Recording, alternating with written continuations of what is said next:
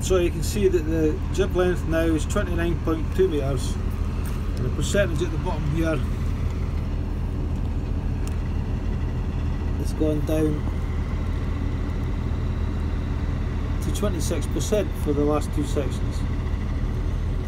Right, and that was by putting the manual jib uh, jib button down. Press this button down to bring the jib in and pull the jib handle in.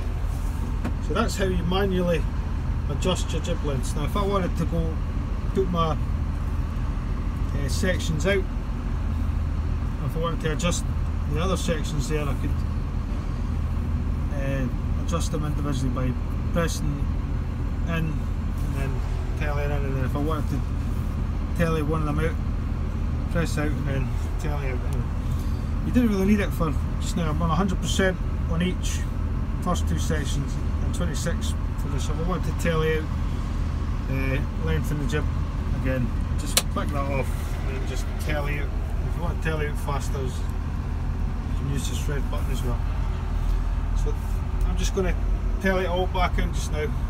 I'm going to leave it the, all the sections in, but I'll leave the stick up. So pull this in,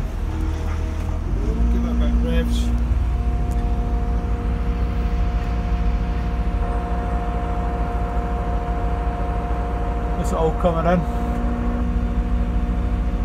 See the first section is coming in first. So it's coming out sync, see? If I didn't want it to come in that way, I would use the manual button I just showed you. So I'm just going to go ahead and bring all that in.